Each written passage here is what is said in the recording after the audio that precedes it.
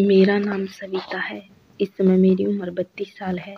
मैं पंजाब की रहने वाली हूँ। चार साल पहले मेरा तलाक हो चुका है और अब मैं अकेली रहती हूँ। मेरे पति की जो प्रॉपर्टी थी, उसमें से मुझे एक घर और काफ़ी पैसे मिल गए थे और अब मैं उसी घर में रहती हूँ।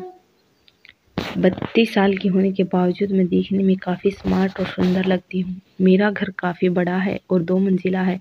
इतने बड़े घर में मेरा अकेले का दिल नहीं लग रहा था। तो एक बार मैंने किराए के लिए अखबार में विज्ञापन दिया। कुछ दिनों के बाद ही मेरे घर में एक परिवार किराए पर रहने के लिए पूछने आया। उनको घर पसंद आया और वे लोग मेरे घर में शिफ्ट हो गए। परिवार में केवल पति पत्नी ही थे और दोनों ही जॉब करते थे।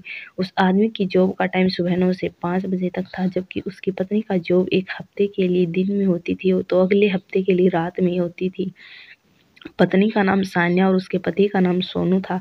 सोनू एक लंबी कद का था और काफ़ी फ्रेंडली था, जबकि उसकी घरवाली थोड़ी खड़ूस टाइप की थी। मुझे देखने में सोनू बहुत अच्छा लगा, लेकिन मैंने उसके बारे में अभी तक कुछ गलत नहीं सोचा था।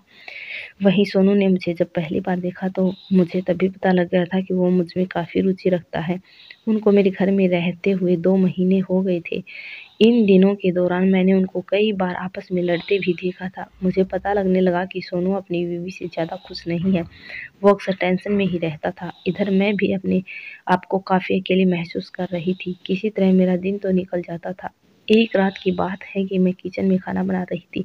अचानक गैस सिलेंडर की गैस ख़त्म हो गई। मेरे पास दूसरा भरा हुआ सिलेंडर भी नहीं था। फिर मैंने सोचा कि क्यों न किराएदारों से ही सिलेंडर के लिए पूछ लूँ।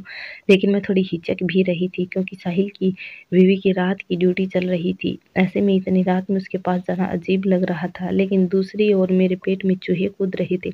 तो बिना खाए कैसे रहती तो मैं हिम्मत करके ऊपर चली ही गई। ऊपर आकर मैंने आवाज़ लगाई तो साहिल बाहर आया। मैंने उनसे पूछा कि घर में एक्स्ट्रा सिलेंडर है क्या? वो बोला एक्स्ट्रा सिलेंडर तो नहीं है जी, लेकिन अगर आपको बुराने लगा तो खाना आप यहीं बना सकते हो और दो रोटी मेरे लिए भी बना देना। मेरे पास भी कोई दूसरा चारा नहीं था तो मैंने भी कहाँ, कर दी। मैं सामान ऊपर लाकर खाना बनाने लगी। साहिल बाहर कुर्सी लगाकर अपने लैपटॉप पर काम कर रहा था, लेकिन कई बार वो चोर नज़रों से मुझे भी देख रहा था, जैसे सोच रहा था कि बस ये भी मिल जाए। तभी साहिल बोला, कुछ हेल्प चाहिए आपको तो बता देना। उस वक्त मैं आटा गूंथ रही थी। जल्दी से खाना बनाकर मैं नीचे आ गई। फिर लेटने लगी, लेकिन रोज़ की तरह ही बहुत बेचैन हो गई। हिचकिचाहट मुझे उसके पास जाने से रोक रही थी। मैं बाहर आ गई। फिर मैं नीचे आँगन में टहलने लगी। फिर मेरी नज़र ऊपर गई तो साहिल जंगल के पास खड़ा मुझे देख रहा था। मुझे देखकर वो मुस्कुराने लगा और ऐसे खुश हुआ जैसे मेरे ही बाहर आने का इंतज़ार कर रहा हो। मैं भी सोच रही थी कि काश सोनू खुद ही चलकर मेरे पास आ जाए, तभी उसने आवाज़ दी, मैडम, काफ़ी बनाई है मैंने, आप भी आ जाओ। मैं भी जैसे इसी नियंत्रण का इंतज़ार कर रही थी तुरंत मैं ऊपर चली गई। मैंने पिंक कलर की नाइटी पहनी हुई थी, जिसमें बड़ी सुंदर लग रही थी। छत पर पहुँची तो ठंडी ठंडी हवा लगने लगी। फिर हम कॉफ़ी पीते हुए बातें करने लगे तो सोनू ने पूछा, आपका तलाक कब हुआ और क्यों हुआ? मैंने उसको कहा, मेरा पति कोई काम नहीं करता था, मेरी ही नौकरी से घर चलता था। फिर वो बोला तो आपको किसी साथी की ज़रूरत महसूस नहीं होती? मैं बोली, कमी तो महसूस होती है, लेकिन एक बार धोखा खा चुकी हूँ, इसलिए अब किसी पर यकीन नहीं होता। इस बात पर वो भी थोड़ा भावुक हो गया और अपने दिल का हाल बताने लगा। वो बोला, मैं भी अपनी पत्नी से बहुत तंग आ गया हूँ, जिसके कारण हम दोनों का रिश्ता ख़राब हो चुका है। मैं भी समझ गई कि वो क्या कहने की कोशिश कर रहा है।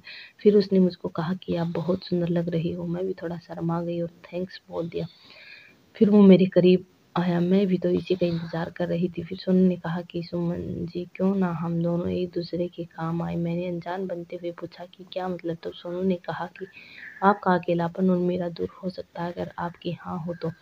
मैंने थोड़ा नखरा किया, लेकिन तैयार तो मैं कब से थी? फिर मुझे जाना पड़ा क्योंकि रात काफ़ी हो गई थी।